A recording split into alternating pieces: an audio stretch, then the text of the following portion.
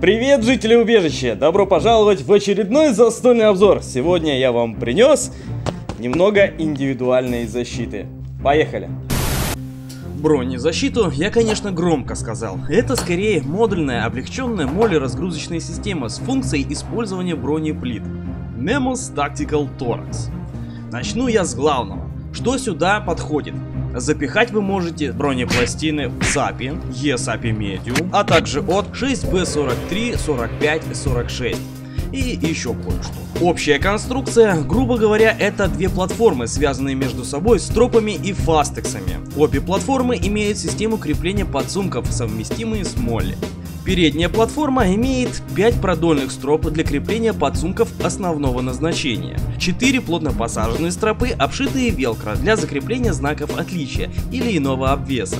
Молли прошита довольно скромно, как мне показалось, недостаточно толстый шов, чтобы выдержать суровые нагрузки. Но сама стропа выглядит довольно качественно, я бы сказал на троечку. Возле ключиц имеются стропы для закрепления дополнительного оборудования, к примеру, наплечной защиты. Материалы, из которого выполнен данный образец снаряжения, могут вызывать некоторые вопросы. Нейлон. Вроде как с претензией на стиль а-ля кардура. Но что-то не дотягивает, что-то в ней вызывает сомнения. Плотность около 700-800 ден. Более подробной информации я, к сожалению, не обнаружил. Ткань какая-то странно похрустывающая напоминает хорошую китайскую сумку для похода на работу. Обе части бронежилета крепятся друг к другу плечевыми лямками внахлёст с велкро с одной стороны и фастексом с другой. Фастекс, пускай и не из куска говна слеплен, но дрожит и стучит как первоклассник любимчик училки. Надо также отметить, что использована велкро довольно неплохого качества. Думаю, отслужит достаточно долго, чтобы вам надоесть. Перебираемся к спинной части. Она также оборудована системой крепления моли. Сюда вы спокойно можете прикрепить подсумок под гидратор или дополнительную сухарку. Да, даже котенка, если снабдите его моли стропами. Примечательно, что боковых моли строп нету. Я, конечно, немного в снаряге понимаю, но мне показалось, их тут не хватает. Ну, они же спереди-то есть, а почему бы их не сделать сзади? Может, конечно, я и не прав. Также уже стандартно, сзади имеется ручка эвакуации с велкро-панелью. Я бы не стал за нее особо дергать, но не то, что я ей самой не доверяю, сколько не доверяю качеству ткани, из которой сделан бронежилет. Вообще, мне кажется, я слишком зажрался и критично отношусь к снаряжению. Я все время забываю, что обозреваю снарягу все-таки для игры в страйкбол. Окей, отвлеклись. Поясная часть. Тут также все печально.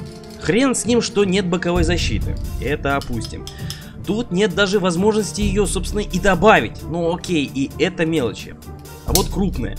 Пояс крепится на все те же дребезжащие фастексы. И поясная часть не снабжена стретч-стропой. Получается, что бронежилет довольно жестко цепляется к организму и мешает ему деформироваться. Например, э, оттягиваться при приседании или если вы плотно похавали в мертвяке. Тогда переходим на внутреннюю часть. Тут просто ткань рипстоп.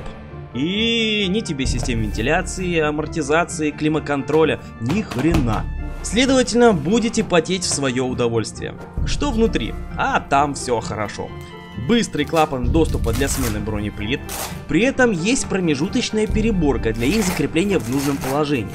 Бронеплита останется на месте и не съедет, также штатно имеется пенка, которая предназначена уменьшить контузационную травму при попадании в панель. Что? Тот, кто это написал в инструкции, явно не дружил с головой.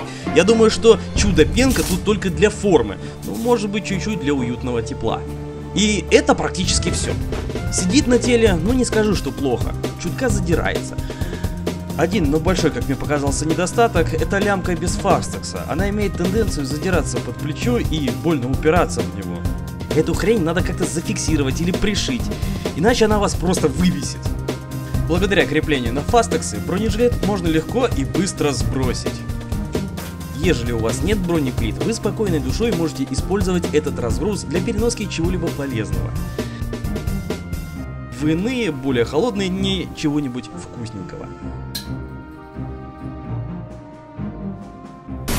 Ну а на этом у меня все или почти все. Спасибо за то, что посмотрели этот выпуск до самого конца. Жду от вас большие пальцы вверх. Если вы считаете, что я в чем-то не прав, жду в комментариях. Все, всем увидимся, пока.